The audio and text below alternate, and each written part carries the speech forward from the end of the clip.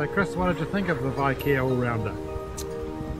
Um, that was the first time I've used it on my own race boat, this machine, and nothing but thrill. It's It was brilliant for this boat. Really, really, really good. Uh, my old old seat that I use, um, I have difficulty keeping in position because on this boat you have to move around so much and you're literally throwing yourself over corners which tends to take the older seat off.